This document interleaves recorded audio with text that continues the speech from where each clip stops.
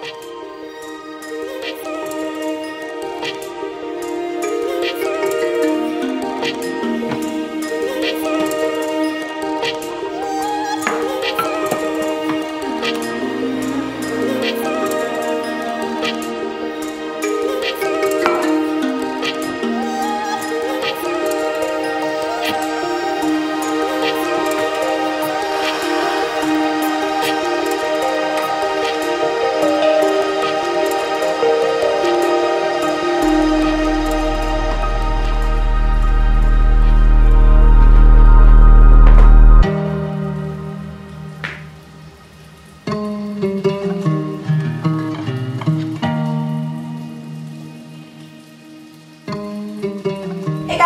and welcome back to another Koze Daily Brew. Today we're going to be talking about some of my longer term goals and my tips and tricks on how to stay consistent with actually achieving longer term goals. So today I figured it'd be fun if we dove into some of like the bigger goals I have going on right now. Once that quick sip. And just in general, how I've been like mapping them out and basically the main tip that I go to when it comes to actually getting work done and like inching away and chipping away at the bigger goals that I have going. So, for starters, I feel like overall in my life right now, I have three really big goals that I'm working on. One is usually always a book of some sort. So, right now I'm working on catching, and that is definitely the biggest goal that's going on this year in particular. I'm hoping to get as much of catching done before the end of the year as I can, but I'm not putting like a crazy deadline on it because it's one of those things that I really want to have fun with and like chip away at in a way that doesn't stress me out. So catching is definitely the first and biggest goal that I have. If you guys don't know what catching is,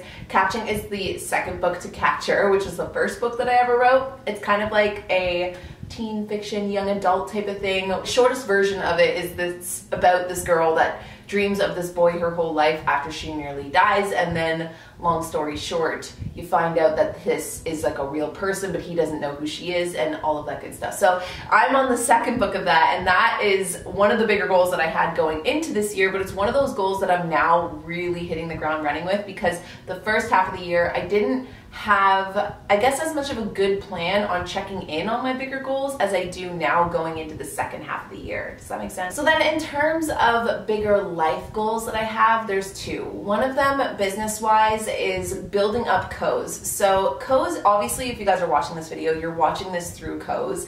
Koze, the Koze YouTube channel is completely separate from my personal channel. It's one of those things that I know is gonna come with time and just like working around with like playing with Koze to figure out exactly exactly what I'm trying to turn it into, but ultimately what I'm trying to build with Koze is a community. I want it to be this place where I'm kind of under the umbrella of Koze rather than Koze being under the umbrella of me in the sense of I want Koze to be this like one stop place where you feel like comfort and also inspired to go outside of your comfort zone. And so I want to eventually build it up to something where I'm having guests on it all the time. I don't know if it's end up gonna having like its own podcast or what, but it's just one of those things that I guess in a lot of ways is a brand that I'm building up and the whole premise behind the brand and what the brand stands for and having like merch and stuff for the brand. Yes. Oh, Bentley just sneezed. Can you guys see him rolling back there?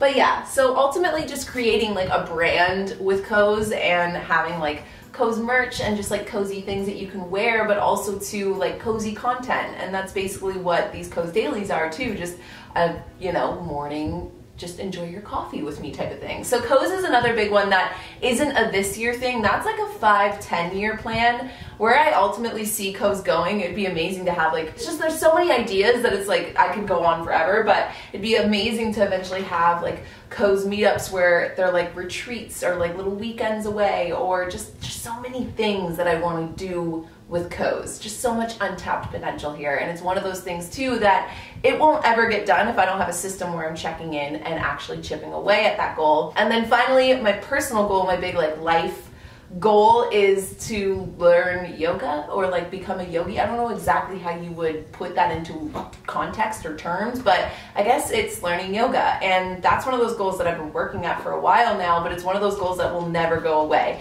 I feel like even by the time you're 80, yoga is just like one of those things that you never fully master it, so you never really stop. And I think that's what initially drew me into yoga is that you always have to practice and you always just like like there's no end in sight and that is like a comfort to me because then it's never about trying to get to a destination with yoga. It's just about learning i guess about my body and i guess too about how to slow down and how to tune in and how to be present and aware. And so those are the three bigger goals that i have going on in my life right now. And here is like my number one tip when it comes to actually chipping away at those goals.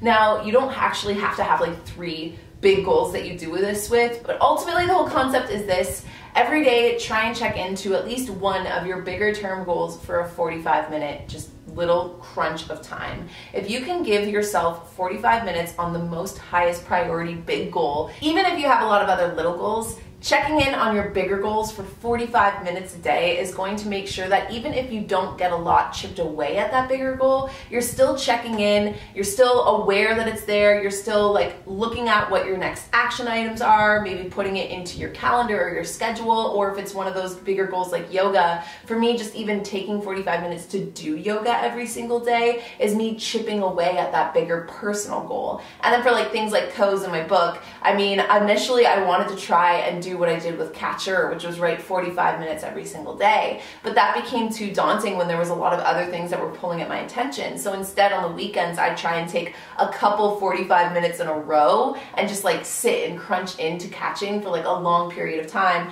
And then I'd dip back out. But then basically that way, instead of doing a little bit of it every single day, I do a little bit of it in a week. You know, you like zoom out from the day perspective into a week's perspective, and I get it done on the weekends. And last but not least, with Koze, it's one of those things too that 45 minutes a day, I just try and tap in, see what's going on with Koze, see if there's anything that needs to be done, any big action items, and ultimately what's going on on like the bigger grand scale, like what is being done groundwork wise that's gonna take longer to see the outcome for, but that like work is being done, you know? So yeah, I guess that's it. Those are my bigger, longer term goals. Be sure to let me know yours down in the comment section and let me know if you guys end up trying this little 45 minute kitchen timer thing where you're every day just check in on your bigger goals for 45 minutes and see if it makes any difference even in just a week.